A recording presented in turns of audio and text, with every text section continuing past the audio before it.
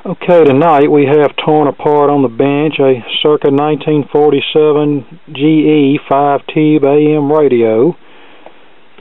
It's basically the same circuit as any other AM radio, any other 5-tube AC-DC set, for the exception that this radio uses a 110 volt pilot light while most sets use a number 47 bulb which is a 6.3 volt lamp Okay, let's plug it up and see what happens.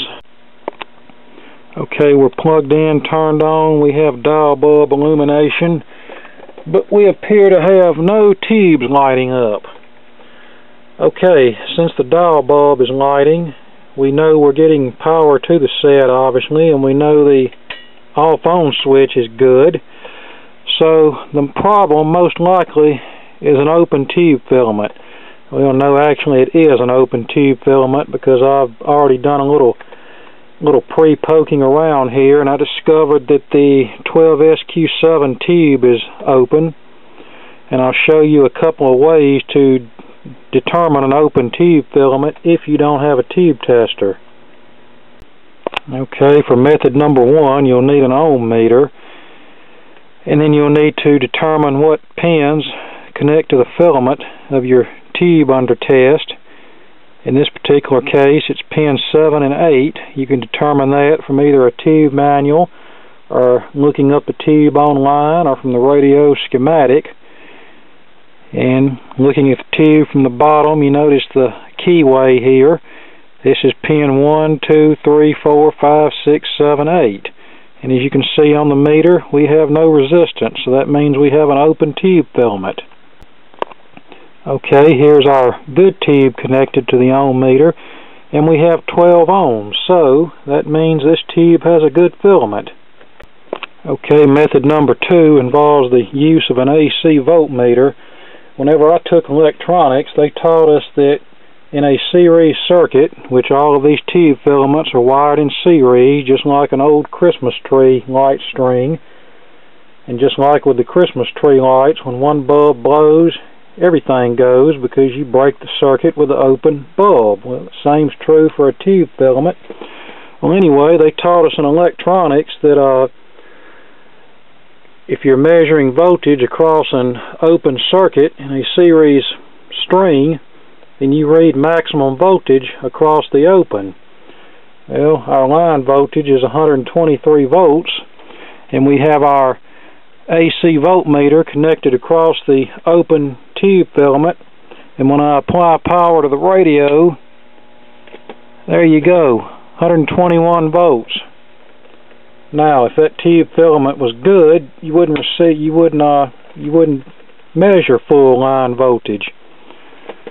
So what you can either do is take a resistance measurement of each tube filament with your ohm meter or you can use your AC voltmeter to check across the filaments of each tube and whichever tube filament gives you maximum voltage as in line voltage across the filament then you know you found the open tube filament.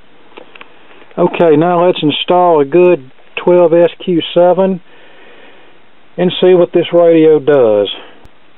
And by the way we're dedicating this video to our to our old friend Shango066 who recently had a little mishap with YouTube closing out his channel by mistake but thankfully he's back up and running again with all of his old videos intact. Okay here we go. We have our speaker connected. We have our 12SQ7 tube in the socket. Let's apply power and whatever is going to happen will happen Let the set warm up a minute.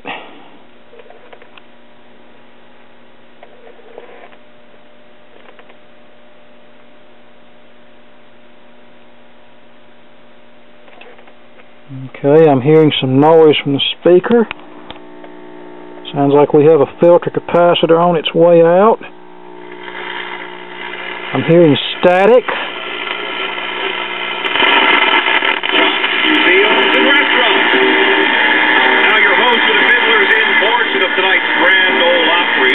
Like WSM is coming in. Let me kill the light a minute. The Country Music Hall of Fame, ladies and gentlemen, Whispering Bill Anderson and his vocal band. That's not bad results for a, basically a first go. Another hard-hitting battle on the gridiron. Four minutes between 355 and Lakeshore Drive. Dan Ryan, you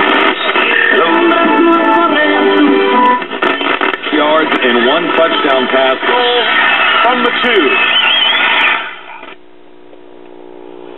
Okay, so we know our electrolytic filter capacitor will need to be replaced. That's this guy right here.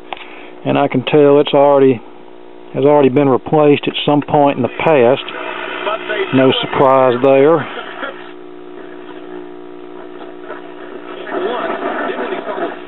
Eight nothing here in the third quarter. And TSU again not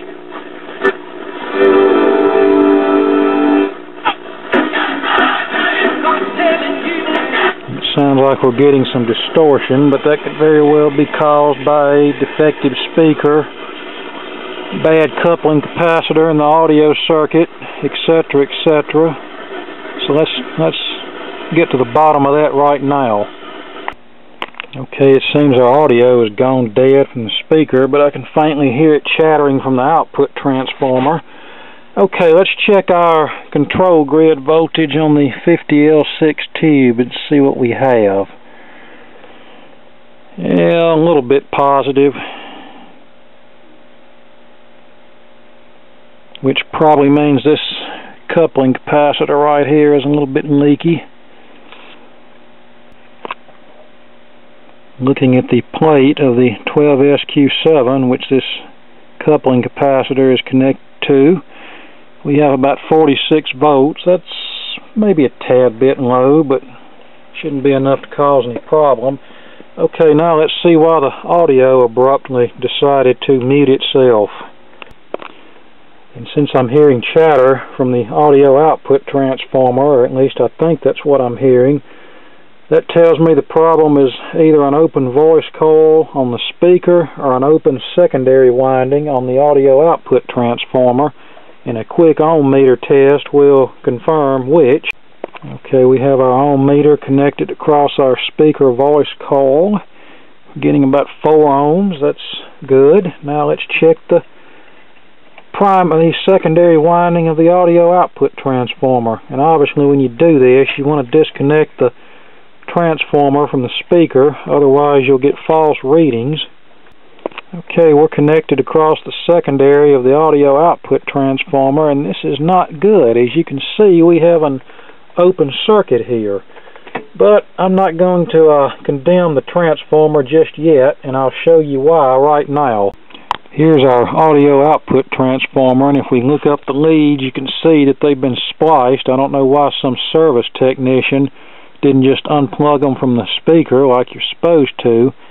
In fact, this is real loose here, so it's quite possible these connections might not be secure. So I'm going to remove this crap and check again and see how, how we are. Okay, it appears that shoddy workmanship was the problem because you see I have the meter connected directly and we now have a reading. So now we'll just clean this junk up resolder it properly and slip some heat shrink tubing over it and it should be good to go. Okay, here we are soldered back together and insulated with heat shrink tubing. We have our meter connected and as you can see we're getting the uh, desired results now. Okay, now that that little bit of excitement is out of the way, let's go ahead and replace that coupling capacitor in the that couples the 12SQ7 tube to the 50L6 audio output tube. Okay, there's the capacitor replaced, all nice and neat, because I hate shoddy workmanship. Okay, back on the GE, I've replaced all of the old paper capacitors, which all tested leaky. As far as quality, the solar sealed tight capacitors showed the least amount of leakage, but they still were leaky. Now we're replacing this electrolytic capacitor. I'm just going to leave the original can in place, disconnected with modern single section capacitors wired under the chassis.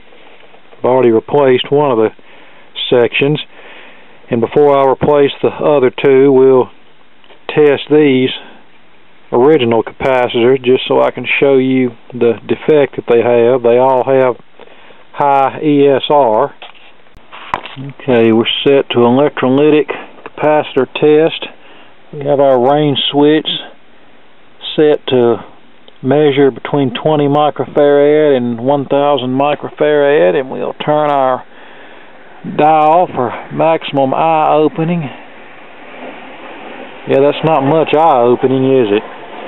Now, in order to test for power factor, or ESR, we just turn this knob up, and when we get maximum eye opening, that's our degree of ESR.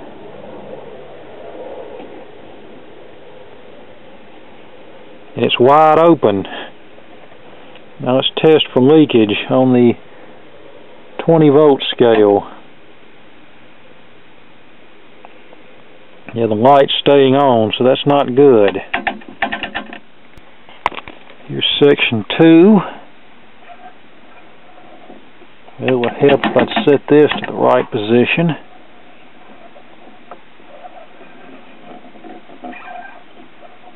Once again, very little eye openings. We'll raise our power factor control.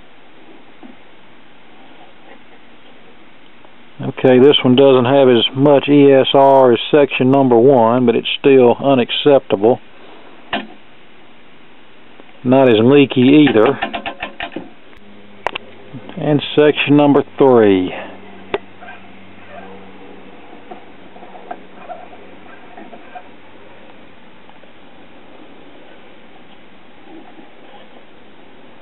this one's maxed out as far as ESR. Now, let me show you how a brand new capacitor test. Have our power factor knob at zero.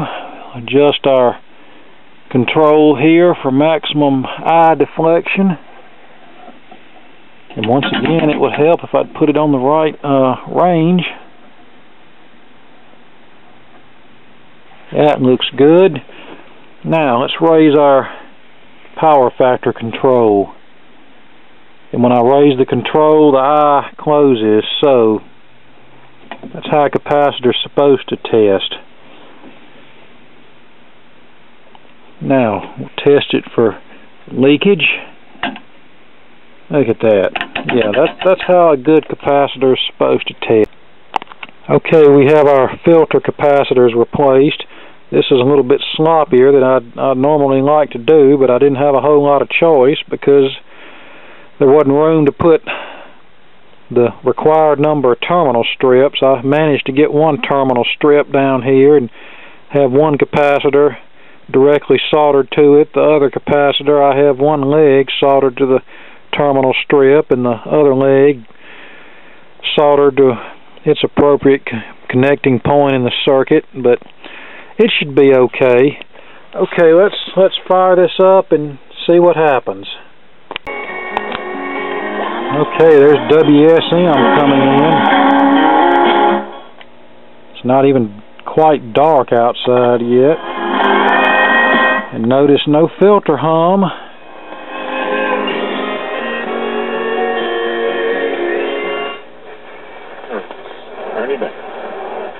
And totally cranked up, it just doesn't mean as much to our players, you know.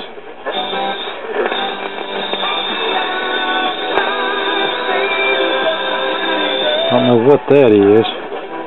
Bunt is away. Hanging coming to the near side. Controls under it. Gets it at the 19. Hangs up. Point zero. He breaks the tackle on the near side. There's a flag. Community in a meaningful way.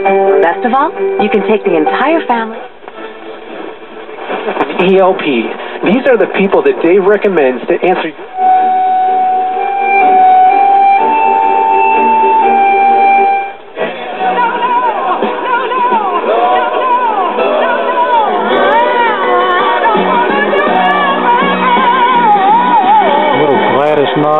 Night in the pips for your listening pleasure.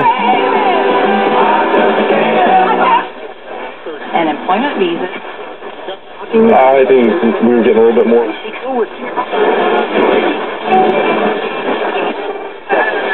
we'll take that dollars in surplus as far as an actual community of people, and you'll start seeing the stores won't be ran by ethnic groups that come in from the outside. The blight of the neighborhoods won't be falling down. The youth development programs won't be slighted based upon the fact that nobody says they had the resources. After school programs won't, will be in abundance because the people would have the necessary resources to put the money out there. Visitation, chapel service, and graveside service, all for under $5,000. Webb Funeral Home has been serving the families of this area for over 140 years. In Speaker's a little raspy. Or call UMass and say congratulations. You're like a bunch of little children.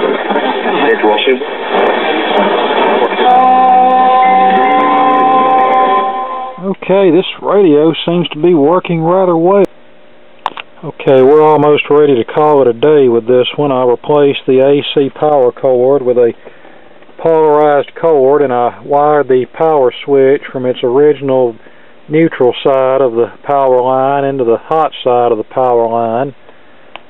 So it'll make this chassis a little more safe.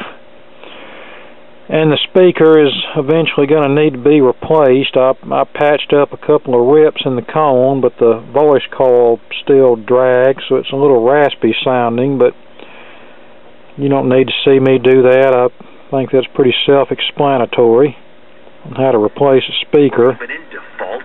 Can't go back to school because of an old student loan problem?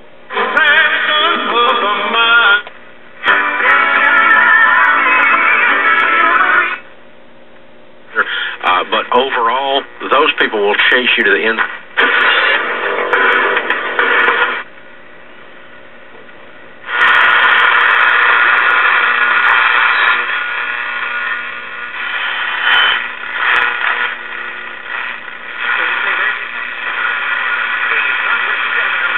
There's a weak station from somewhere.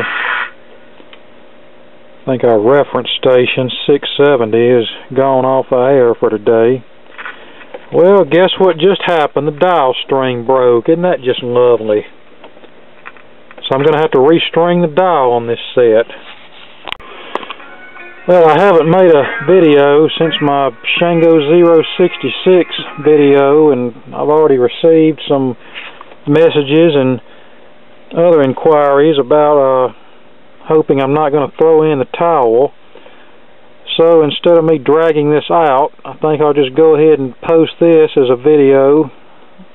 And whenever I acquire some dial string and get a new speaker for this set, then I'll probably do a part two of this. But just to let everybody know that I'm not gone, I'm not mad, I'm not throwing in the towel, we'll just go ahead and post this portion of this and and say more to come later.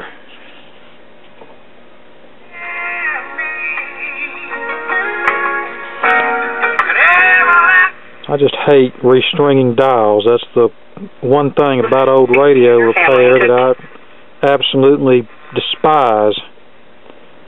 But I have no other choice here. I'm going to have to restring it. Move. We perceive we're looking at in a more flattering way. Look somebody in the eye.